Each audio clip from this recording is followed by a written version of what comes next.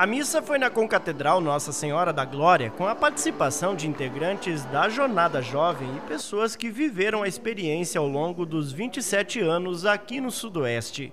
A jornada é um movimento católico com o objetivo de levar o jovem a redescobrir o sentido da vida, adquirir o conhecimento de Jesus Cristo e fazer-se atuante na igreja.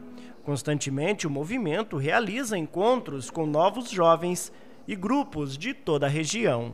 Se nós olharmos hoje dentro da nossa igreja, é, muitos jovens e até pessoas já de, de mais de idade, inseridas no contexto da igreja, fizeram a experiência da jornada, que são três dias fortes de espiritualidades, aonde reforça também o compromisso de, eh, de cristão, batizados, fazer a diferença, porque é, Deus é sempre jovem, né? E foi em Francisco Beltrão o primeiro retiro em janeiro de 1975.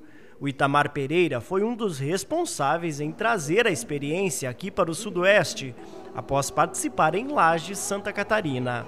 Daí, subitamente, nós viemos morar em Beltrão e um ano depois saiu a primeira jornada de Beltrão em janeiro de 75.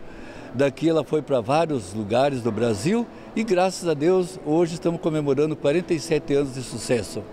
Ao longo destes anos foram 117 retiros somente em Francisco Beltrão e a participação de mais de 15 mil jovens em todo o Sudoeste. Os retiros foram interrompidos em fevereiro de 2020 por conta da pandemia, mas já está programado o retorno para março deste ano. Se Deus quiser, vamos retornar agora em março com a jornada, poder fazer esse evento aí. Os jovens estão sedentos, isso foram dois anos sem jornadas. Então, estamos nessa expectativa, desde que o pessoal também se cuide, os casos diminuam né, e que tudo possa voltar ao normal.